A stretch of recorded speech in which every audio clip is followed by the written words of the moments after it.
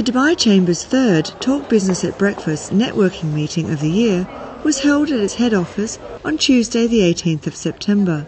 and brought representatives of the private sector face to face with His Excellency Mohammed Al Shihi, Under Secretary of the UAE Ministry of Economy.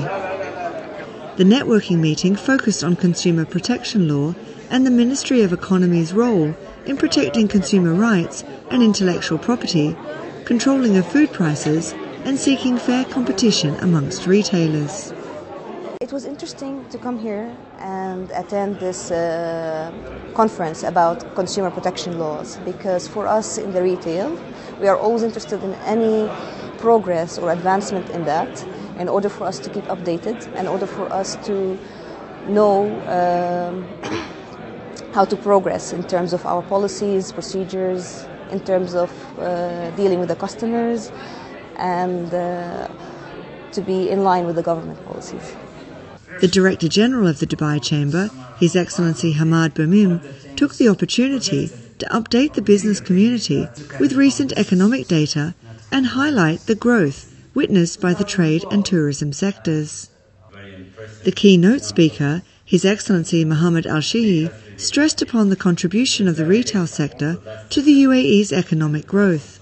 and also emphasized the ministry's commitment to enhance awareness about best practices by educating consumers about their rights and duties, ensuring stabilization of prices and fair competition, and preventing monopoly tendencies by liaising with relevant departments and authorities in the UAE. It is good for us as a, as a government to interact directly with the business community and with the with the private sector. And I think uh, the the, uh, the chamber has worked to, be a very good liaison between us and the private sector. We would like to also emphasize that we would like to continue this practice, and the government somehow is not one way in terms of communicating, but we would like to be two-way communication because we are somehow, as I say, uh, end of the day, the UAE economy is based in and, and businesses, and we would like to somehow work with them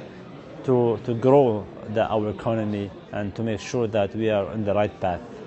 Uh, I believe this type of event is so core for any uh, company who has to operate uh, in any country and in UAE especially in the UAE now with the leading role that UAE is doing, especially on consumer price uh, and consumer protection in all the GCC. And this is the best chance to interact with other uh, players in the same industry and with the government bodies to uh, uh help, uh, let's say, um, see exactly where do you want to reach from here.